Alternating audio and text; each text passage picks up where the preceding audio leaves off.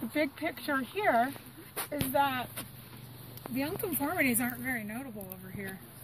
And if you hadn't seen the angular unconformities in other places, you might just look at that and say, this is a this is just a, a pretty um, conformable section. This one's left. Okay. This one's good. But if you look over here, at this space here, you've got where's our white bed? Here's our this is a this is our white bed. Okay. And then this is that bottommost cliff here, which is probably the mossback member of the Chinle. This is basal base Chinle. Right here. This slope forming unit below it is your Moenkopi. This is Fantastic. It is. Okay. And then these red beds down here, that's your cutler. Okay. And notice the cutler kind of kind of comes up like that. That one's dipping. These are dipping, but less steeply. And then this comes chops off across the top. Okay. So this used to be horizontal, and then had to dip relative to this one, but if you, let's make this one flat, and that had to tilt for this one to, To be, be flat, straight, and then yeah. that had to tilt for this one to be flat. Okay, and and what's interesting is this, this the the beds above and below that white layer don't look that different, No. right? So this is an intraformational unconformity, and um, it was probably subsiding or tectonically active or structurally active during the deposition of that unit. All right, now let's look at that Wingate up there. What does the Wingate do? Dun, dun, dun, dun, dun. Right? Mm-hmm. And then it's all messy back here, and then there's some big fallen blocks of the Wingate down here. That's a broken up Wingate. Mm-hmm. And probably a little bit of, yeah, Wingate and Kayenta all broken up right in here. Right in the middle of where. All of that, that big mess. Yeah. Okay? Where did that come from? Let's. What the Wingate used to be here was go all the way across. Okay? And so what's happened here is that there was space made down here beneath these units that was salt. It dissolved. And there was some extension related to those that salt dissolution. And this th- so there was space down here, so these things basically fell in, and what you get is this a, a different kind of trap door than the one we were talking about yesterday, where this just rolls down into this space. Okay. Hmm. And oftentimes, before they collapse, they're anticlinal. So sometimes they're either so anticlines, and in this case, this is a salt graben. They're really nice. Dang. They're more for like boulder hopping and like. All the way down to the bottom of that's probably nearly a mile. Way down there. Hey, you get a picture of me? Me? All of it in the background? Yeah. This. I'll get one of you.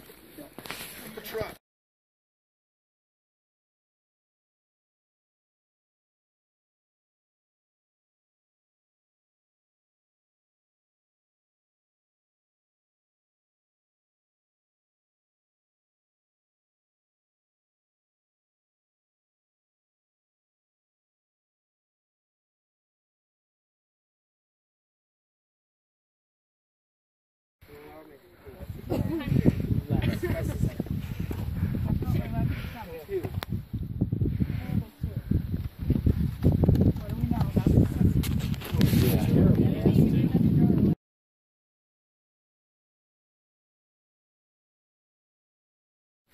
Jurassic sandstone.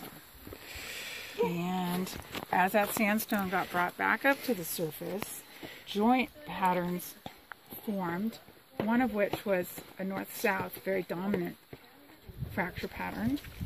And there's little water droplets there.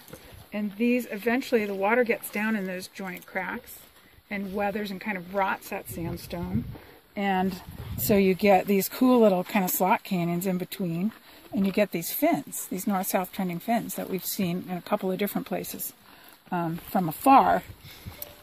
And then if you just take one of these, those fins, and look, is my crossbedding going? I don't have any crossbedding going there.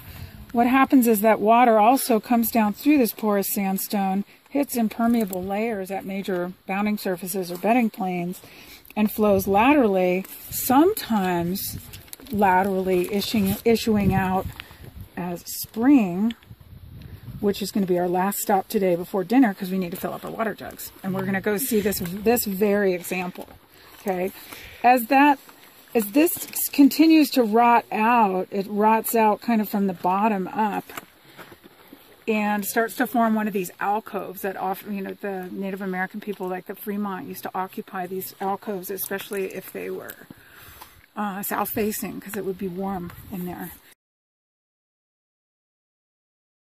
Okay, but then you make this alcove and then you've got a ceiling that is vulnerable to um, failure. Okay, so gravity takes it over and you get rubble falling from that, and that can break through, ultimately leaving an arch. The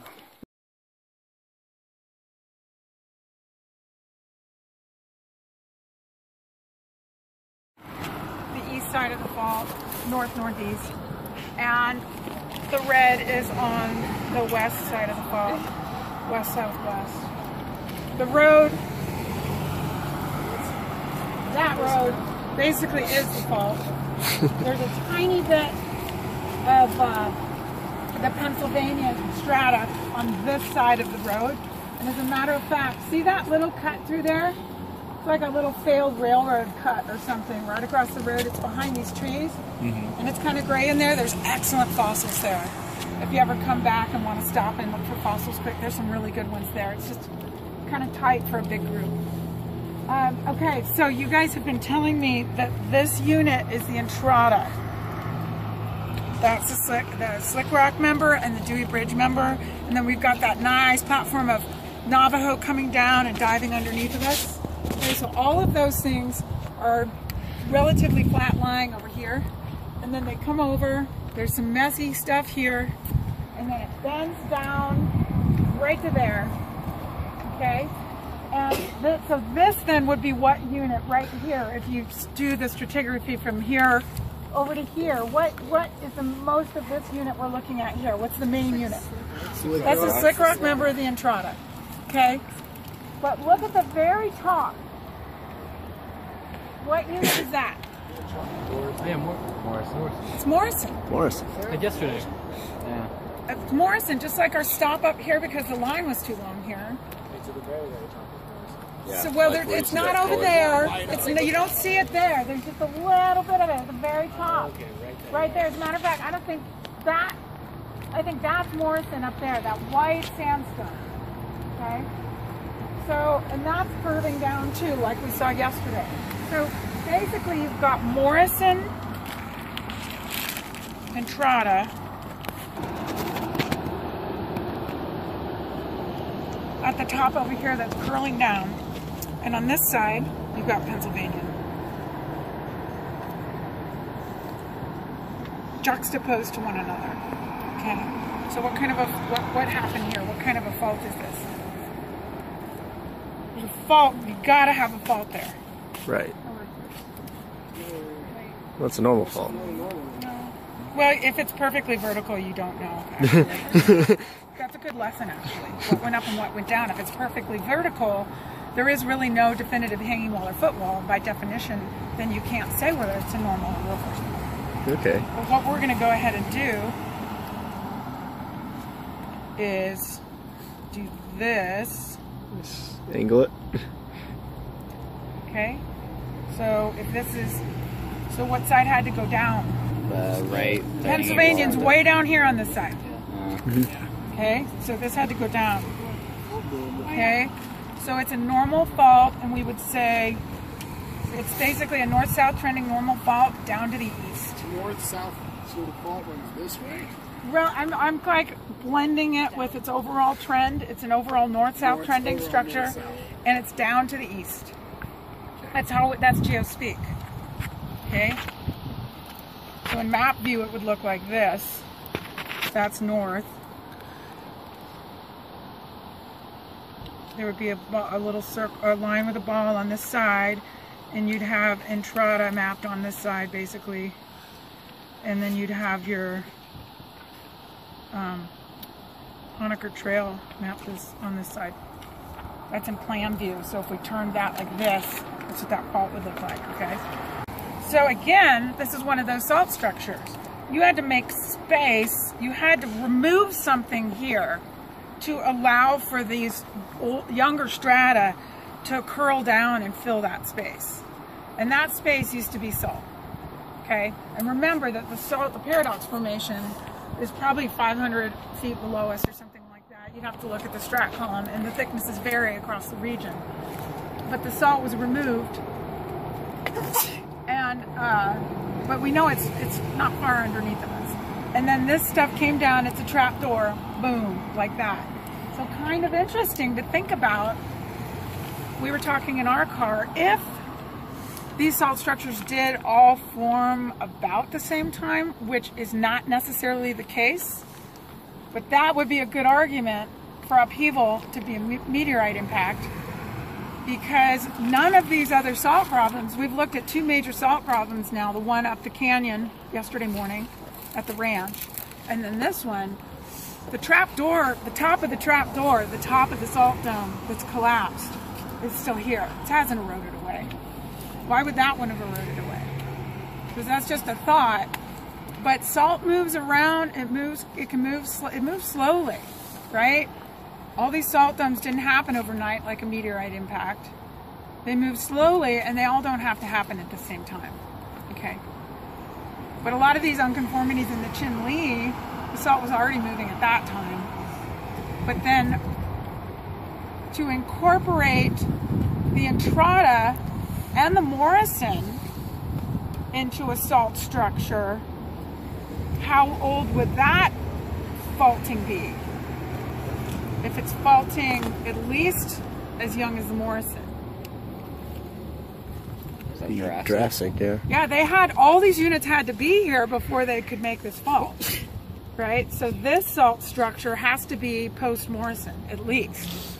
We don't know if the Cretaceous is involved in this folding. Kind of like we don't know if the Cretaceous was involved in the deformation over at upheaval because it's not there, it's eroded away. So that would help us with it, minimize, you know, getting a better constraint on age. Okay? We got some weird stuff happening around here in the Mesozoic and maybe Cenozoic time. We don't know exactly when some of these things happened. But there's bodies of literature on the salt tectonics of this area, and there's bodies of lit- there's a big body of literature on the upheaval, and they'd be just really wonderful research projects, maybe even a, um, a, a thesis project could be um, performed on either of these two problems. I don't think anybody really has a problem with the Moab fault. Perhaps some of the kinematics, I don't know, or the timing for sure. We're always trying to think of ways.